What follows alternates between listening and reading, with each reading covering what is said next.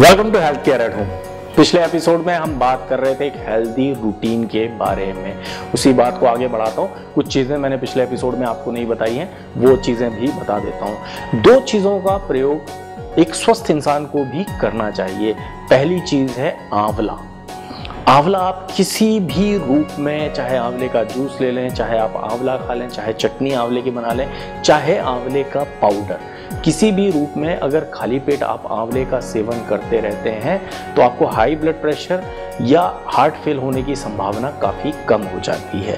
तो जब आप सुबह उठे हैं, उसके बाद जो आपने पानी पिया है और उसके बाद आप टॉयलेट गए हैं, इसके बाद आपको 30 एम आंवले के जूस का प्रयोग कर लें आप, या एक आंवला खा लें, या एक चम्मच आंवले का पाउडर गुनगुने पानी के साथ। ये अगर आप सेवन करते हैं तो ये आपके स्वास्थ्य के लिए बहुत लाभदायक है। आपके हार्ट के लिए बहुत अच्छा है, आपके बालों के लिए बहुत अच्छा है, आपकी आँखों के लिए बहुत अच्छा है। तो आंवले का प्रयोग कोई भी स्वस्थ आदमी भी ये प्रयोग कर सकता है। दूसरी चीज़ जिसका मैं नाम लूँगा, वो है एलोवेरा। एलोवेरा जूस आजकल बड़ी आसानी से मार्केट में उपलब्ध है। तो 30 एम के लगभग ही एलोवेरा जूस, उसमें थोड़ा सा गुनगुना पानी मिलाकर 30 एम ही गुनगुना पानी मिलाकर, ये भी आप आंवले के जूस के साथ साथ ही इसका अगर आप सेवन करेंगे तो आपकी स्किन के लिए, आपके स्टमक के लिए बहुत अच्छा है, आपका डाइजेशन ठीक हो जाएगा।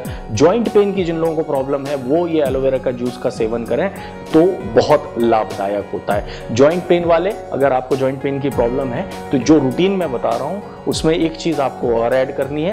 सुबह उठकर मेथी दाना जो होता है, उसको पीसकर उसका चूर्ण बना लें आप।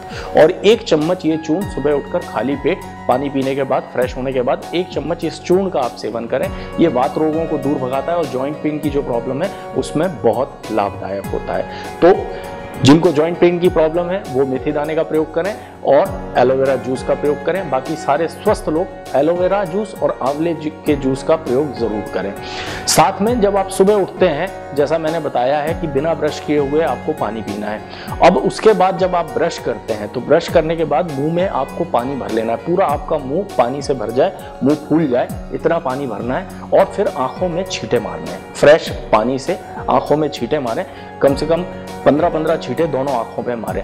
ये प्रयोग अगर आप दिन में तीन बार करते हैं, मुँह में पानी भर लें और आँखों में छींटे मारें। इससे नेत्र रोग होने की संभावना काफ़ी कम हो जाती है। तो ये आप दिन में तीन बार भी कर सकते हैं, लेकिन एक चीज़ का ध्यान रखना, जब आप मुँह में पानी भरते हैं तो जैसे ही वो पानी, कुछ टाइम तक जब आप मुँह में पानी भरे रहते हैं तो वो गर्म होने लगता है। जैसे ही पानी गर्म होने लगे तो उसको थूक दें और दोबारा से फ्रेश पानी आप अपने मुँह में भर लें और आँखों में छींटे मारें। तो ब्रश करने के बाद आँखों में छींटे मारना ना भूलें, मुँह में पानी भरकर। तो इस रूटीन में अभी बहुत कुछ बाकी है। क्या क्या और करना है? ये हम आपको बताएँगे अगले एपिसोड में। फ़िलहाल के लिए हमारी कामना यही है कि आप स्वस्थ रहें, व्यस्त रहें, मस्त रहें, हमसे मिलते रहें। हमसे मिलने के लिए क्या करना है, इस चैनल को सब्सक्राइब करना है। अपने दोस्तों, अपने रिश्तेदारों को बोलें, इस चैनल को सब्सक्राइब करें। घर बैठे स्वास्थ्य लाभ पाएँ और हमारे मकसद में हमारा साथ दें। हमारा मकसद है ज़्यादा से ज़्यादा लोग घर बैठे ही स्वास्थ्य लाभ पाएँ। तो ज़्यादा से ज़्यादा हमारे वीडियोज़ को शेयर और लाइक करना ना भूलें।